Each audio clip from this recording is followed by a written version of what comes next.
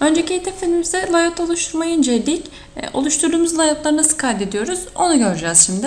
Ekranda gördüğünüz modelimizin üzerinden şey almıştık, parça çizmiştik. Parçanın layout'a nasıl yerleştiğini gördünüz. Şimdi geldik bunu kaydetmek istiyoruz. Kaydetmek için de Savez'i kullanacağız. Farklı kaydet diyeceğiz. Ne olarak kaydedeceğiz? Template yani şablon olarak kaydedeceğimiz için DVT. DVT'ye tıkladıktan sonra template, template bölümü açılır zaten. Hemen A3 şablon 2 diyeceğim.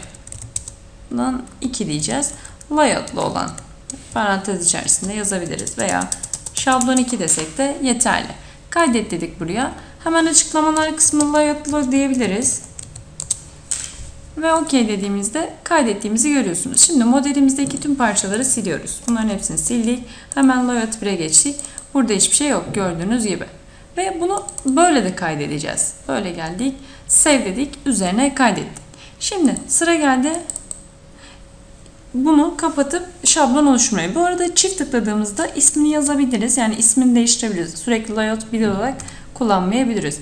A3 şablon diyerek şöyle yazdık. Şimdi geldik bu sayfayı da kapattık. Yeni bir sayfa nasıl açıyoruz onu inceleyeceğiz. Yaptığımız değişiklik kaydedesin mi? Evet dedik ve kaydettik. Hatta bunu da kapatalım. Şöyle. Kontrol N dediğimizde hemen DVG olarak yani hangi e, DVT'yi kullanacağız burada belirtiyoruz. Biz otomatik olarak böyle deyip open dersek DVT'yi kullanabiliriz. Ama biz ne diyoruz? DVT olarak almak istiyoruz. DVT.